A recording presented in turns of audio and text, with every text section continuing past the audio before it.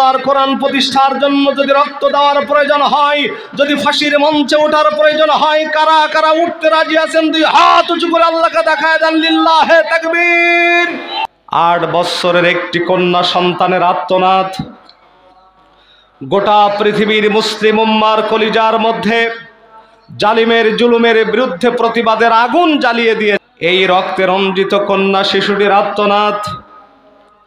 তাম পৃথিবীর মুসলিম উম্মার জাগ্রত বিবেকে নাড়া দিয়েছে। এই মেয়েটি বলছে, আনা বিন্তু ফিলিস্তিন। আমি হলাম ফিলিস্তিনের কন্যা। খতামুবাইতি ইসরায়েলের আগ্রাসনে একটা দুইটা বাড়ি নয়, বাইশ লক্ষ বাড়ি ঘর ধ্বংস করে দেওয়া হয়েছে। এর মাঝে আমার বাড়িঘর খতামুবাইতি ধ্বংস করে দেওয়া হয়েছে, তাতে আমার কোনো দুঃখ নাই। তাতে আমার কোনো ব্যথা নাই। কারণ আমি মনে প্রাণে বিশ্বাস করি আমার মাবুদ আল্লাহ বাইতান ফিল জান্না, জান্নাতের মধ্যে চাইতে উত্তম ঘর প্রস্তুত করে রেখেছেন। কথা বলেন ঠিক না বে ঠিক সম্মানিত দিনী ভাইরা আমার সবচেয়ে আশ্চর্যজনিত বিষয় যেটি, সেটি হলো এই ইসরায়েলের বোমার আঘাতে মেয়েটির একটি পা উড়ে গেছে। আপনারা বলুন তো দেখি, যদি বোমার আঘাতে পা উড়ে যায়, তাহলে সে কান্নাকাটি করে না, হাসতে থাকে। আর একটু জোরে বলেন। কান্নাকাটি করে, এটাই স্বাভাবিক। কিন্তু সবচেয়ে আশ্চর্যজনিত বিষয় যেটি, সেটি হলো এই, মেয়েটির একটি পা উড়ে গেছে, তাই কি হয়েছে? মেয়েটি তখনও মুসকে মুসকে হাসতেছে। সাংবাদিকরা প্রশ্ন করলেন কি আশ্চর্য ব্যাপার? তুমি না আনা বিনতে ফিলিস্তিন, ফিলিস্তিনের কন্যা।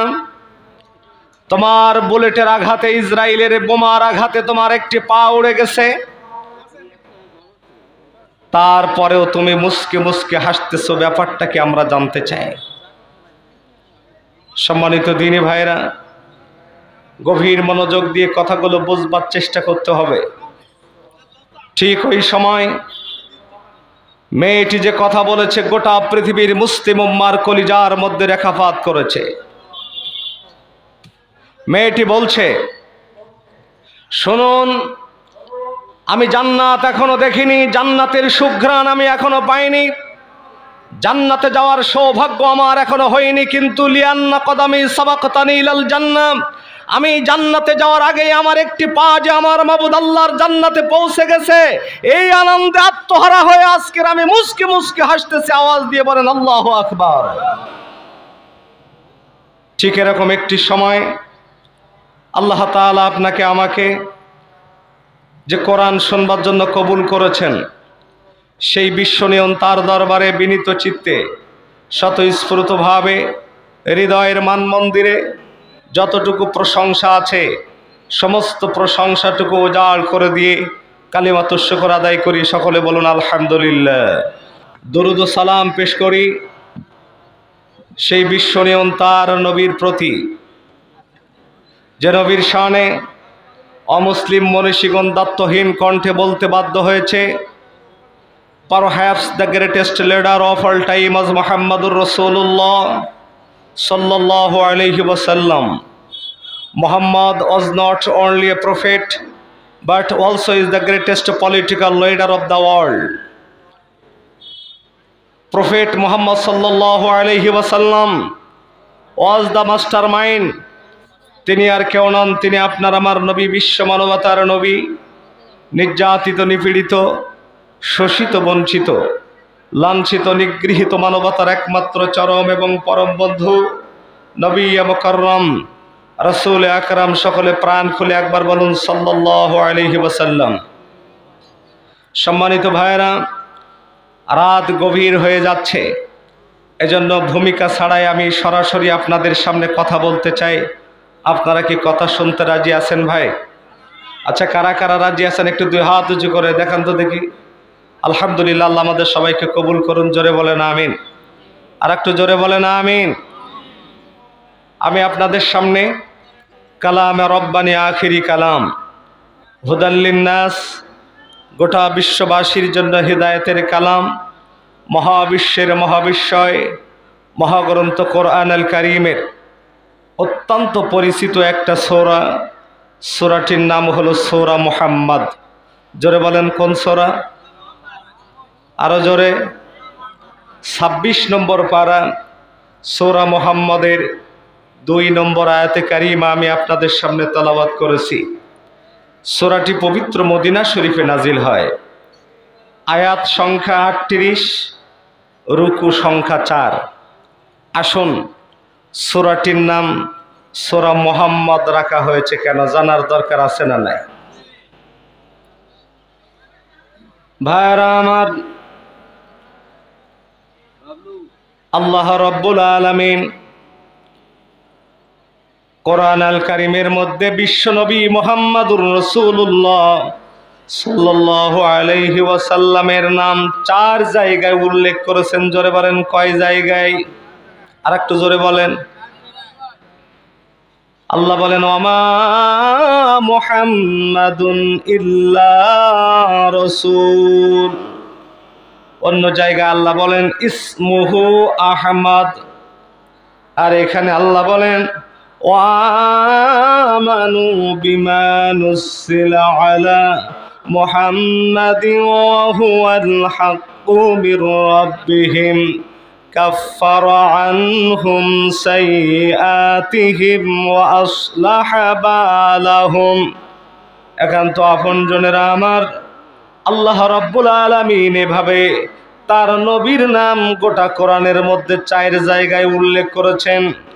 এই সোরার দুই নম্বর আয়াতে কারিমার মধ্যে যেহেতু আল্লাহ রব্বুল আলমিন মোহাম্মদ শব্দটা উল্লেখ করেছেন, আর মোহাম্মদ শব্দটা উল্লেখ করার কারণে সোরাটির নাম সোরা মোহাম্মদ রাখা হয়েছে। একবার জোরে জোরে বলুন সুবাহান তাহলে গোটা কোরআনে নবীর নাম কয় জায়গায়? আর একটু জোরে বলেন। সবচাইতে আশ্চর্যজনিত বিষয় হল, আমি হিন্দু ধর্মশাস্ত্র যখন পড়লাম, হিন্দু ধর্মগ্রন্থগুলো পড়ে আমি বিস্ময়ে অভিভূত হয়ে পড়লাম আশ্চর্যান্বিত হয়ে গেলাম। কারণ হলো এই গোটা হিন্দু ধর্মগ্রন্থের মধ্যে চারটা হলো সবচেয়ে উল্লেখযোগ্য ঋগ্বেদ, সামবেদ, যজুর্বেদ আর অথর্ববেদ। এরকমভাবে হিন্দু ধর্মগ্রন্থের মধ্যে এক জায়গায় দুই জায়গায় নয়। আমার নবীর প্রশংসা জ্ঞাপন করা হয়েছে একত্রিশ জায়গায়। চিৎকার দিয়ে বলেন সুবাহান তাহলে নবীর প্রশংসা করা হয়েছে কয় জায়গায়? আর একটু জোরে বলেন। নিরধনয়নে নিরঘন সিঞ্চনে পুলুক মুখুলাবলম্ব শ্বেত মুখরন্দ বিন্দু বিন্দু চোয়াত বিকশিত ভাব কদম্ব সম্ভলে বিষ্ণুযশ গৃহে প্রাদুর্ব ব্রাহ্মহম সুমাতাং মাতরি বিভ কন্যায়ং তন্নিদেশতং। লা ইলহা ইল্ল ইলহাম হরতি পাপম। লা ইলহা ইল্ল ইলহাম, পরম পদম। জন্ম বৈকুণ্ঠিত অপ ইনতিত জফিনাম মোহাম্মদ। সম্মানিত ভাইরা আমার, এখানে পরিষ্কারভাবে বলা হয়েছে তাম পৃথিবীর মানুষ তোমরা শুনে নাও। কোনো ব্যক্তি যদি লা ইলাহা বলে, হরতি পাপম হরতি পাপম, তার জীবনের সকল গুণাগুলো মাফ হয়ে যায়। সুবাহ কালকে বললে ভালো হয়? ভাইরা আমার, শুধু তাই নয়, হরতি পাপম, ইল্ল ইলহা পরম পদম, যদি কোনো ব্যক্তি ইল্লাল্লাহ বলে তাহলে তার পদমর্যাদা বৃদ্ধি হয়ে যায়। জপি নাম মোহাম্মদ, আর যদি অনন্তকালের জন্য জান্নাতের অমৃত সুদা পান করতে চাও, যদি অনন্তকালের জন্য স্বর্গের মধ্যে অবস্থান করতে চাও, তাহলে দেরি করো না রে। জফিনাম মোহাম্মদ, নবীর নাম বেশি বেশি করে জপ করো। জপ করলে পরে জাহান নামের আগুন থেকে বেঁচে যাবে। একান্ত আপনজনেরা আমার তাহলে আল্লাহ তালা কোরআন আল কারিমের মধ্যে চার জায়গায় আমার নবীর নাম উল্লেখ করেছে। আর গোটা হিন্দু ধর্মের উপরে আমি রিসার্চ করে দেখলাম, গোটা হিন্দু শাস্ত্রের উপরে আমি গবেষণা করে যেটা পেলাম, সেটা হলো এক জায়গায়, দুই জায়গায় নয়, একত্রিশ জায়গায় আমার নবীর প্রশংসা জ্ঞাপন করা হয়েছে। ভাইরা আমার এবার আর একটা কথা না বললে নয়, টেলিভিশন যখন খুলবেন, টেলিভিশন যখন অন করবেন, দেখবেন টেলিভিশন থেকে ভেসে আসে সব্যে সত্তা ভবন্ত সুখী তত্ত্বা বলে কি বলে না? এর বাংলা মানে হলো শান্তি। ভাইরা আমার, আপনারা জানেন, বৌদ্ধ ধর্মের প্রবক্তা যিনি, ওনার নাম হলো গৌতম বুদ্ধ। এই গৌতম বুদ্ধ যখন অন্তিম মুহূর্তে চলে গেল, মৃত্যুর মুখোমুখি দাঁড়িয়ে গেল, ঠিক এমন সময় তার সবচেয়ে কাছের মানুষ, এক নাম্বার কম্পেনিয়ন্স তার সবচেয়ে প্রিয়ভাজন ব্যক্তি, তার একনিষ্ঠ সাহাবি নাম হলো তার আনন্দ। কি নাম?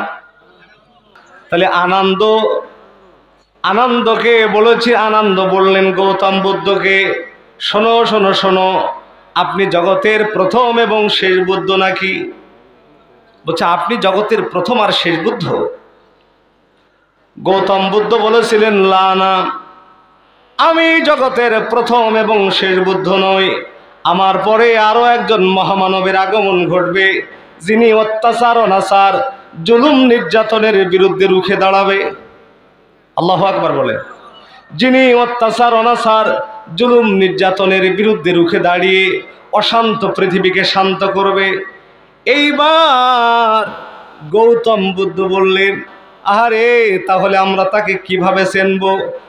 আনন্দ বললেন, আমরা তাকে কীভাবে চেনব?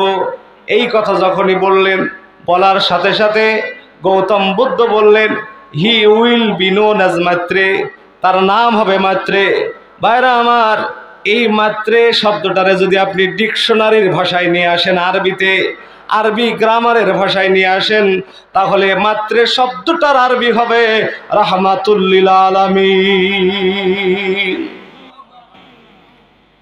আমি অবাক হয়ে গেলাম আশ্চর্যান্বিত হয়ে গেলাম।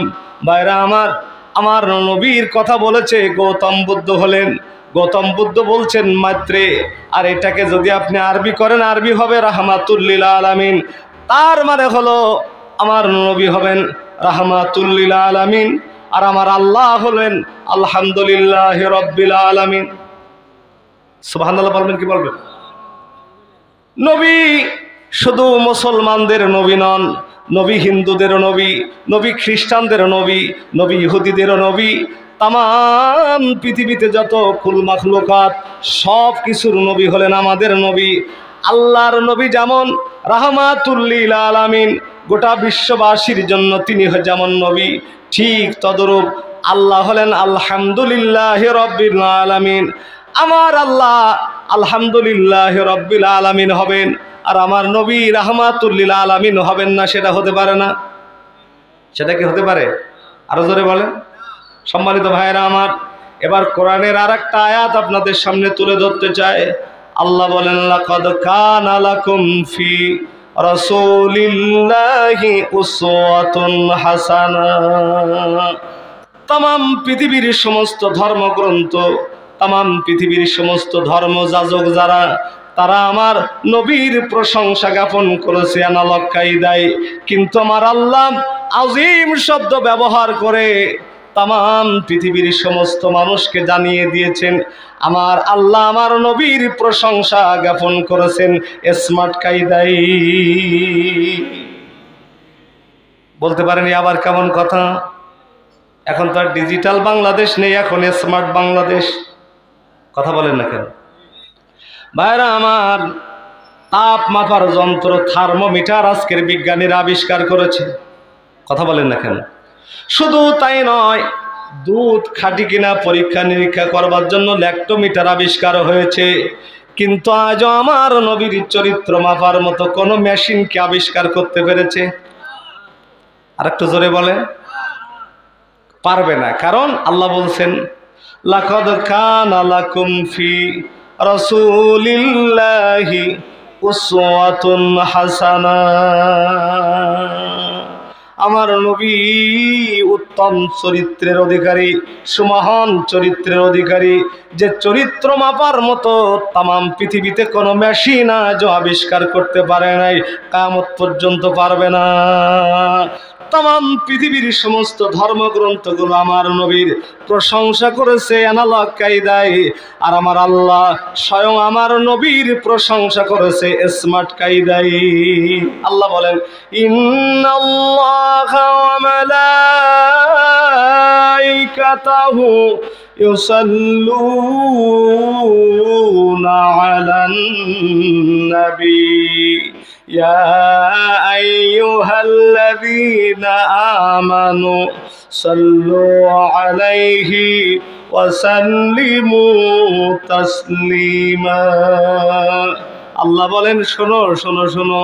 ও তামাম পৃথিবীর মানুষ, তোমরা আমার নবীর নামে দুরুদ পড়ো আর নাই পড়ো।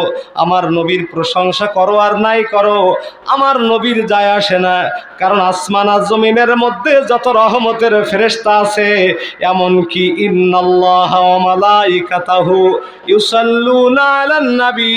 আমি আল্লাহ স্বয়ং আমার নবীর উপরে দুরুদ পড়ি। এবার আমরা যে বিষয়টা নিয়ে কথা বলতে চাই সেটি হলো, সোরাটি কেন নাজিল হয়েছে? অর্থাৎ শানে নজুল।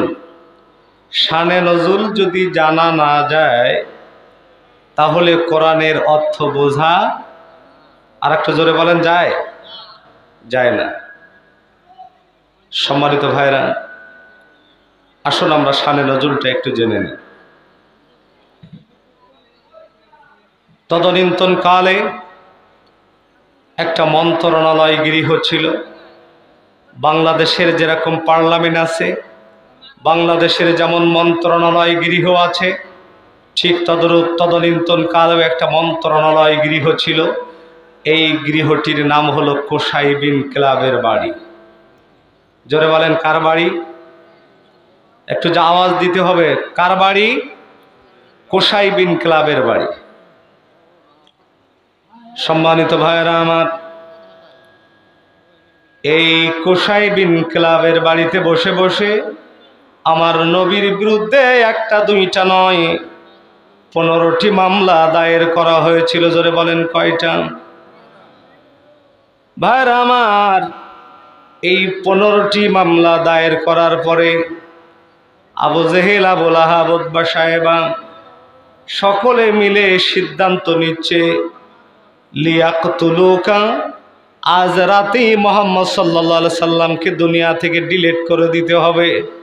মোহাম্মদ সাল্লা সাল্লামকে পৃথিবীর বুকে আর বাঁচিয়ে রাখা যাবে না। মোহাম্মদ সাল্লামকে দুনিয়া থেকে শেষ করে দিতে হবে। একান্ত আপনজনেরা আমার। একান্ত আপনজনেরা আমার। ঠিক এমন সময় আল্লাহর নবী এই ঘটনা জানে না। যদি বলেন, জানে? কারণ নবী তো গায়েব জানে না। গায়েবের গায়েবের খবর আল্লাহর হাবিব রাখে না। আল্লাহ তালা জিবরিল আমিনের মাধ্যমে কোরআনের আয়াত নাজিল করে দিয়ে এই পার্লামেন্টের রায়টা নবীজিকে জানাচ্ছেন। জোরে বলেন সুবাহান সম্মানিত ভাইয়েরা আমার, আল্লাহর হাবিব কিন্তু গায়েব জানে না। গায়েব কি জানে? নবী গায়েব জানে না, তবে আল্লাহ রব্বুল আলমিন যদি গায়েবের সংবাদ নবীকে জানায় দেয়, তাহলে নবী জানবে এটা নতুন কোনো কথা নয়। এইবার আল্লাহ তালা জিবরিল আমিনের মাধ্যমে তার নবীকে জানিয়ে দিচ্ছেন, আল্লাহ বলেন ওইদিয়াম করবিকাল্লাদিনা কাফারু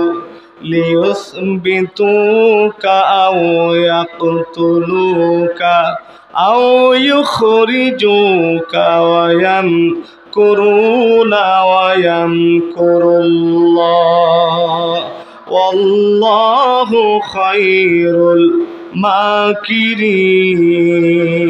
চিৎকার দিয়ে বলেন, আল্লাহ আকবার।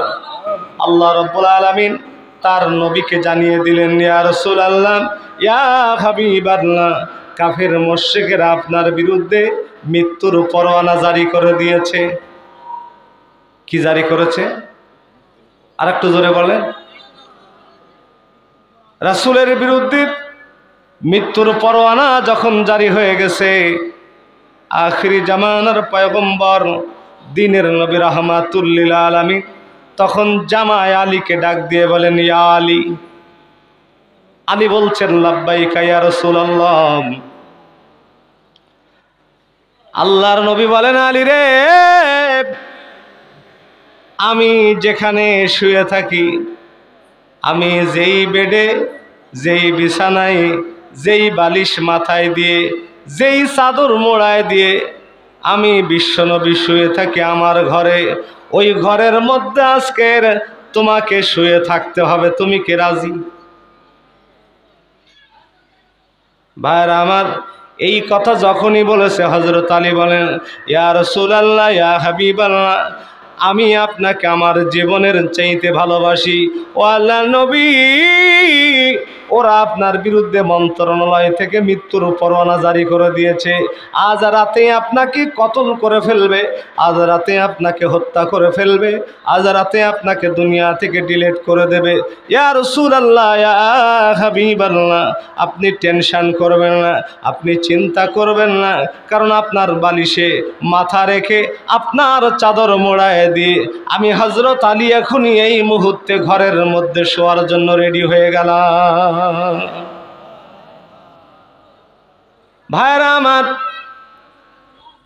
যদি কারোর নামে মামলা থাকে, ও যদি কারোর বাসায় একটা রাত থাকে, দ্বিতীয় দিন সঙ্গে সঙ্গে বলে, হুজুর, আসার দরকার নেই। কথা বলেন ঠিক না বেঠিক? আরও জোরে বলেন ঠিক না বেঠিক? এইবার হুজুর যদি মেম্বার সাহেবের বাড়িতে যে আশ্রয় নেয়, সকালবেলা মহিলারা বলা বলি করবে, ব্যাপার কি? ওই ভয়ে ভীত সন্ত্রস্ত হয়ে মেম্বার সাহেবও বলবে, হুজুর, আসার দরকার নেই, অবস্থা খারাপ। কথা বলেন না কেন? বার আমার কঠিন সিদ্ধান্ত নিয়েছে আবু জেহেল আবুল আহাবুদ্বা সাহেবা। মন্ত্রণালয় গৃহ থেকে আজ রাতে মোহাম্মদ সাল্লামকে হত্যা করে ফেলতে হবে। আবু জেহেল বলল এইবার নবীকে হত্যা করতে হইলে একা একা হত্যা করা যাবে না। প্রত্যেকটা গোত্র থেকে একজন করে লোক নিতে হবে। মানে দোষ আমি একা মাখবো না। দোষ আমার একা হবে না। দোষ যাতে সবাই সমান ভাগে ভাগ করে নিতে পারে, তার জন্য প্রত্যেকটা গোত্র থেকে একজন করে লোক সিলেক্ট করল। বাইরে আমার এগারো গোত্র থেকে এগারো জন লোক সিলেক্টেড করার পরে আল্লাহর নবীর বাড়ির চতুর্দিকে ঘেরোয়া করে ধরেছে। ঠিক এমন সময় আখরি জামানার পয়গম্বর দিনের নবী আমার দুইটা হাত আর সে আজিমের দিকে তুললেন আর আল্লাহর কাছে যে দোয়া করেছেন, আমার আল্লাহ তালা সোরা বন ইসরায়েলের মধ্যে এই কথাটা সুন্দরভাবে কোটেশান করে দিয়েছে। নবীজি আমার দুইটা হাত আর সে আজিমের দিকে তুললেন আর বললেন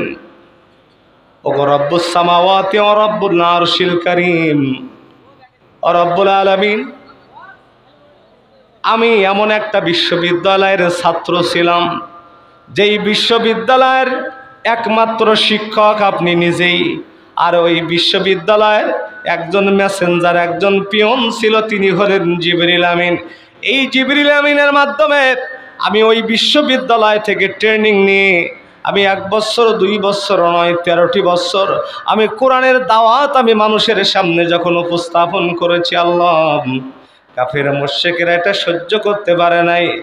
ওরা জাবালে কুবাইসের পাদদেশে শিবা আবি তালিবে আমাকে এক বছর, দুই বছর, নয়, দুই বছর, নয় মাস আটকে রেখেছে। কত বছর? আর একটু জোরে বলেন। ও আল্লাহ তাতে আমার দুঃখ নাই। আমার বেলালের উপরে কঠিন নির্যাতনের স্টিম চালিয়েছে মরুভূমির উপরে, উত্তপ্ত মরুভূমির উপরে। আমার বেলালের বেলালকে শোয়াই দিয়েছে, শুধু তাই নয়, আমার সাহাবি হজরতে খাব্বাবকে জ্বলন্ত অঙ্গারের উপরে শোয়াই দিয়েছে। দেহের চর্বিগুলো গলে গলে গলে গলে আগুন পর্যন্ত নিভে গেছে। ও রব্বুল আলামিন, আমি গভীরভাবে ভেবে দেখলাম, এই সমাজ এবং রাষ্ট্রের আমূল পরিবর্তন করবার জন্য ওয়াজনসিয়াতের মাধ্যমে পরিবর্তন করা সম্ভব নয়। কথা বলেন না কেন? ভাইরা আমার, আপনারা কিছুদিন আগে মিডিয়ার মাধ্যমে দেখেছেন বাইতুল মোকাদ্দাসের যিনি ইমাম, যিনি খতিব, তিনি মাত্র দেড় মিনিটের একটা বক্তৃতা তিনি দিয়েছেন। উনি একটা কথা বলেছেন, তামাম বিশ্ববাসীকে, শোনো শোনো শোনো, আজকের লক্ষ লক্ষ মানুষ ইসরায়েলের বুল- বুলেটের আঘাতে, বোমার আঘাতে মারা যায়। তারপরেও যদি তামাম বিশ্বের মুসলিম উম্মা না জাগে, আমি বক্তৃতা করে আমার বক্তৃতায় কয়জন মানুষ জাগতে পারে? খোদ বানাই নামাজ শুরু করে দিলাম, সবাই নামাজের জন্য রেডি হয়ে যাও। সবাই রেডি হয়ে যাও। কারণ বক্তৃতার মাধ্যমে সমাজ এবং রাষ্ট্রের পরিবর্তন হয় না। তাই যদি হতো আমার নবীর মতো সুবক্তা, তামাম পৃথিবীতে আর একজনও হবে না। নবীর মতো সুবক্তা তামাম পৃথিবীর মধ্যে আর একজনও হতে পারে না। আমার নবীর মতো সুবক্তা তিনি বলছেন, আল্লাহ, আমি গভীরভাবে ভেবে দেখলাম, সুললিত সুমধুর কণ্ঠে কোরআনের বয়ান করে দিনের কথা বলে সমাজের অত্যাচার, অনাচার, জুলুম, নির্যাতন বন্ধ করা যায় না। যায়। জোরে বলেন, যায়। তাই যদি হতো, বাংলাদেশে ওয়াজ নসিয়াত কিন্তু কম হয় না। প্রতি নাতে, প্রতি নাইটে মাহফিল হয়। এত মাহফিল হওয়ার পরেও চল্লিশ লক্ষ গায়েবী মামলা কেন আমি জানতে চাই? ওয়াজ লেকচারে যদি কাজ হতো, তাহলে এত মামলা কেন? কথা বলে। ভাইরা আমার, বিশ্বনবী মোহাম্মদ রসুল্লাহ সাল্লাহ সাল্লাম আল্লাহর কাছে দোয়া করতেছেন, দেখেন নবীর বিরুদ্ধে মৃত্যুর পরনা জারি হয়ে গেছে। সোরাটা কখন নাজিল হচ্ছে? নাজিলের প্রেক্ষাপটটা কি? সোরাটা তো এমনি এমনি নাজিল হয় নাই। এক বছর, দুই বছর নয়, আল্লাহর কোরআন নাজিল হয়েছে দুই বছর, বাইশ বছর, চার মাস ধরে। কত বছর? চারটিখানি ব্যাপার হ্যাঁ? চারটিখানি ব্যাপার। সম্মানিত দিনী ভাইরা আমার, আল্লাহর নবী বলতেছেন, আল্লাহ সুললিত সুমধুর কণ্ঠে বয়ান করে, সমাজ এবং রাষ্ট্রের মদ বন্ধ করা যাবে না, জেনা ব্যবসার বন্ধ করা যাবে না, সুদ বন্ধ করা যাবে না, ঘুষ বন্ধ করা যাবে না ইফটিজিং বন্ধ করা যাবে না, এই সমাজ এবং রাষ্ট্রের আমূল পরিবর্তনের জন্য দরকার। আয় আল্লাহ তালা সুলতান পলিটিক্যাল পাওয়ার রাষ্ট্র শক্তি ছাড়া সমাজ এবং রাষ্ট্রের আমূল পরিবর্তন করা কামত পর্যন্ত সম্ভব হবে না রাসুল দোয়া করতেছেন যখন নবীর বিরুদ্ধে মৃত্যুর পরোয়ানা জারি হয়েছে রাসুল দোয়া করছেন তখন ইতিমধ্যে হজরত আলী যখন রসুলের বেডে রসুলের বিছানায় শুয়ে আছে সম্মানিত ভাইরা আমার আমরা দোয়া করি কেমন? আর বিশ্বনবী দোয়া করতেছেন কেমন বুঝতে হবে? কি কথাকে বোঝা যাচ্ছে? এইবার আখিরি জামানার পয়গম্বর, দিনের নবী আমার যখন এই দোয়া আল্লাহর কাছে করেছেন রব্বুল আলমিন জানিয়ে দিলেন, ও নবী, আমি আপনাকে তো মদিনার ভূখণ্ডে নিয়ে যেতে চাই। আখিরি জামানার পয়গম্বর রাহমাতুল্লিল আলমিন সিদ্দিকে আকবরকে সঙ্গে নিয়ে লম্বা চওড়া ইতিহাস, সংক্ষেপে শুধু সানে নাজুলটা বলার চেষ্টা করতেছি ভাইরা আমার। আখিরি জামানার পয়গম্বর সিদ্দিকে আকবরকে সঙ্গে নিয়ে গভীর রজনীতে মদিনার ভূখণ্ডে চলে গেলেন। আর মদিনার ভূখণ্ডে যাওয়ার পরে তিনি একটা নবগঠিত ইসলামী রাষ্ট্র প্রতিষ্ঠিত করলেন। এই নবগঠিত ইসলামী রাষ্ট্রকে উৎপাদন করবার জন্য, উৎখাত করবার জন্য তদনীন্তন কালের কাফের মোশেক ইহুদি, খ্রিস্টান সকলে মিলে বেঁধেছে মহাজোট। কি জোট? আরও জোরে? ভয় করছে আপনাদের? একটু আওয়াজ দিয়ে বলেন না কেন? রসুল মক্কার থেকে মায়ের খাওয়ার পরে, নির্যাতনের স্টিম রোলারে নিষ্পেষিত হওয়ার পরে, তিনি মদিনায় যে একটা নবগঠিত ইসলামী রাষ্ট্র প্রতিষ্ঠিত করলেন, আর এই নবগঠিত ইসলামী রাষ্ট্র উৎখাত করবার জন্য কাফের মোশেক ইহুদি, খ্রিস্টান সকলে মিলে বেঁধেছে। বলবেন, হুজুরে, মহাজোটের কথা আবার কই জায়গায় পাইলি? কথা বলেন না কেন? ভাইরা আমার, গোটা কোরআন পড়ে আমি বিস্ময়ে অভিভূত হয়ে পড়লাম আশ্চর্যান্বিত হয়ে গেলাম। আমার আল্লাহ তালা মহাজট নামে একটা সোরা নাজিল করেছেন। সুবহান আল্লাহ বলবেন কি বলবেন না? সোরাটার নাম কি বলব আমি? সোরাটার নাম হলো আহাজাব। আহাজাব মানে হলো মহাজোট। ভাইরা আমার, কাফের মসজিদ সকলে মিলে বেঁধেছে মহাজোট। ইসলামকে উৎখাত করবে বলে ইসলামের প্রজ্বলিত বাতিটাকে চিরদিনের জন্য নির্বাপিত করে দেবে। ওরা এই ষড়যন্ত্রের জাল বিস্তার করল। ইসলাম কি চিরদিনের জন্য নির্মূল করে দেবে বলে ওরা সকলে মিলে বেঁধেছে মহাজোট। ওই মহাজোটের মোকাবেলা করবার জন্য আল্লাহর নবী আর তার সাহাবিদের সামনে তখন মাত্র দুইটা পথ খোলা। কয়টা পথ আর একটু জোরে বলেন। এক নাম্বার, হয় তাদের সঙ্গে আতোয়াত করতে হবে। আর তাই যদি না হয়, তাহলে সংগ্রামের পথ বেছে নিতে হবে। সঙ্গে থাকলে হব সঙ্গী। আর যদি বিরোধিতা করি, তাহলে হয়ে যাব রাষ্ট্রদ্রোহী জঙ্গি। কথা বলেন না কেন? সঙ্গে থাকলে হব সঙ্গী। আর যদি বিরোধিতা করি, তাহলে হয়ে যাব রাষ্ট্রদ্রোহী জঙ্গি। সাহাবিরা মনে মনে ভাবে, আল্লাহ, সঙ্গে থাকলে হবে আবু জেহেলের, সঙ্গে থাকলে হবে আল্লাহ দ্রোহী মামলা। আর যদি বিরোধিতা করি, তাহলে হবে আবু জেহেলের মামলা।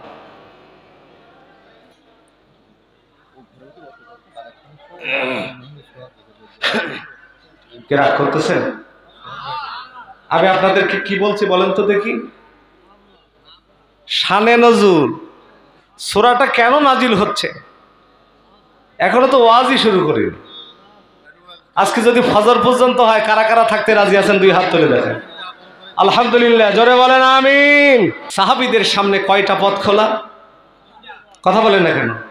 খুব মনোযোগ দিতে হবে, দুইটা পথ খোলা। হয় আতোয়াত করে চলতে হবে, আর তাই যদি না হয়, তাহলে সংগ্রামের পথ বেছে নিতে হবে। সাহাবিরা মনে মনে ভাবে আবু জেহেলের মামলা নিয়ে কবরে যেতে চাই, কিন্তু আল্লাহ তোমার মামলা নিয়ে কবরে যেতে চাই না। বলতে পারেন, হুজুর, আল্লাহ আবার মামলা করবে নাকি? কোরআনের দলিল শোনেন, আল্লাহ বলেন, ইন্নামাস على الذين يظلمون الناس ويبغون في الأرض بغير الحق. أولئك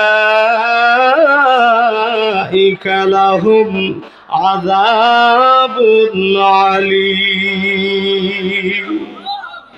আল্লাহ বলেন, যারা মানুষের উপরে অত্যাচার করে, যারা মানুষের উপরে জুলুম করে, নিরপরাধ নিরীহ মানুষকে অপরাধী বানায়, কাল কঠিন বিপর্যস্ত কায়ামতের ময়দানে আমি আল্লাহ সরাসরি তাদের বিরুদ্ধে ডাইরেক্ট মামলা দায়ের করব।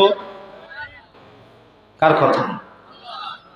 এইবার স্মার্ট বাংলাদেশের মানুষের কাছে আমি জানতে চাই, বলুন তো দেখি, আল্লাহ যদি সরাসরি কারোর বিরুদ্ধে মামলা দেয় ওই মামলার উকিল হবেন কে?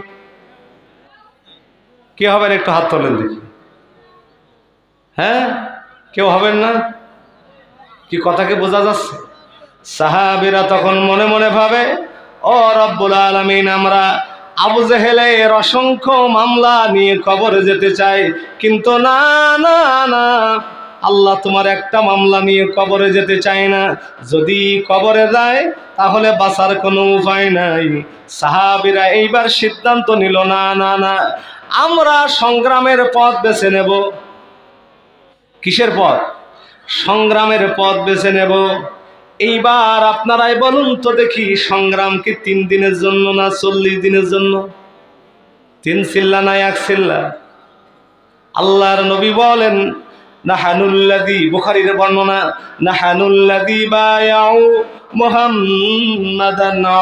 জিহাদু, মা শোনো শোনো শোনো, এ দেহে প্রাণ থাকবে যতদিন, এ সংগ্রাম চালাতে হবে ততদিন। বুখারি শরীফ নাহানুল্লাযী বায়াউ মুহাম্মাদান আলাল জিহাদ মা বাকিনা আবাদা। এ দেহে যতদিন পর্যন্ত রক্ত থাকবে, এ দেহে যতদিন প্রাণ থাকবে, ততদিন পর্যন্ত সংগ্রাম চলবে।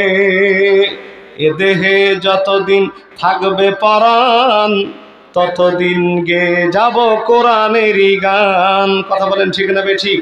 এ দেহে যতদিন থাকবে পরাণ ততদিন গে যাব কোরআনেরই গান। কোরআনের বাণী যারা মুছে দিতে চাই। ওরে রুখে দেব তাতে যদি যাই যাক প্রাণ। কথা বলেন না কেন? সুতরাং আল্লাহর কোরআন প্রতিষ্ঠার জন্য যদি রক্ত দেওয়ার প্রয়োজন হয়, যদি ফাঁসির মঞ্চে ওঠার প্রয়োজন হয়, কারা কারা উঠতে রাজি আছেন, দুই হাত উঁচু করে আল্লাহকে দেখায় দেন, লিল্লাহে তাকবীর। আল্লাহ আমাদের সবাইকে কবুল করুন, জোরে বলেন আমিন। আর একটু জোরে বলেন আমিন।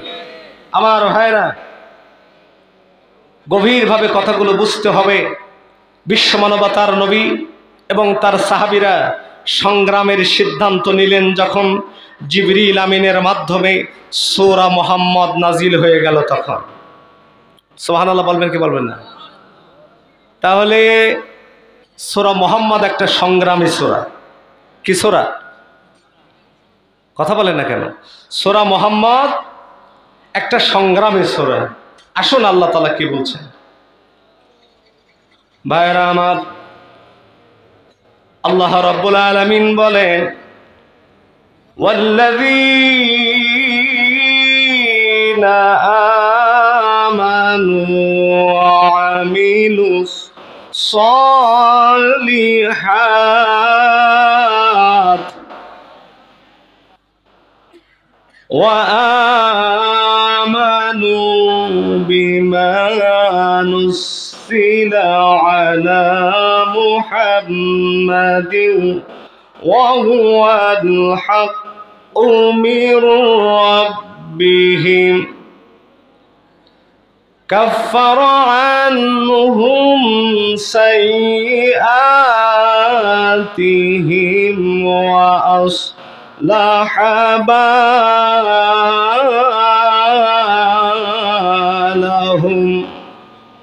রব্বুল আলমিন বলেন, শোনো শোনো শোনো, তোমরা যদি তিনটা কাজ করতে পারো, আমি আল্লাহ রব্বুল আলমিন বলছি, তোমাদের দুইটা লাভ হবে। জোর বলেন, কয়টা? তিনটা কাজের এক নাম্বার কাজ হলো, যদি তোমরা ইমান আনতে পারো আর দুই নাম্বার ইমান আনার পরে তোমরা যদি আমলে চলে, সৎ কাজ যদি তোমরা করতে পারো। তিন নাম্বার, আমি আল্লাহ তালা যে কোরআন নাজিল করেছি, এ কোরআন যদি তোমরা কায়েম করতে পারো, আমি আল্লাহ রব্বুল আলামিন বলছি কাফার আনহুম তোমাদের জীবনের সকল গুণাগুলো আমি আল্লাহ মাফ করে দেব। তিনটা কাজে দুইটা লাভ। তিনটা কাজে দুইটা লাভ। এক নাম্বার কাজ কি? কথা বলে জীবনের গোনা মাপ দুই নাম্বার, আল্লাহ তালা শুধু জীবনের গোনা মাফ করবেন না। রব্বুল আলামিন বলছেন ও আসলাহুম তোমাদের দেশের অবস্থাও আমি পরিবর্তন করব, তোমাদের ব্যক্তিগত অবস্থা পরিবর্তন করব, সামাজিক অবস্থা পরিবর্তন করব, রাজনৈতিক অবস্থা পরিবর্তন করে দেব। ও আসলাহাবালাহুম সুবহানাল্লাহ বলে। আচ্ছা বলুন তো দেখি, বাংলাদেশের অবস্থা ভালো না খারাপ? আরও আসতে বলেন। খারাপ। যক্কা হলে রক্ষা নাই। এ কথার কিন্তু আজ আর ভিত্তি নাই। কারণ একবার যদি যক্ষা আরম্ভ হয়ে যায়, তাহলে কাশি আর কতদিন চেপে রাখবে ভাই? দুইটা কাজ দুইজনের দ্বারাই হয় না। এক নাম্বার, যদি কারোর কাশি হয়, ওর দ্বারা কিন্তু চুরি করা সম্ভব হয় না। হয়? জোরে বলেন, হয়। ও ঘরে যাবে যখন, কাশি দেবে তখন। আর কাশি দেবে যখন, মালিক ধরে ফেলবে তখন। ওর দ্বারাই কিন্তু এই কাজটা সম্ভব হয় না। হয়।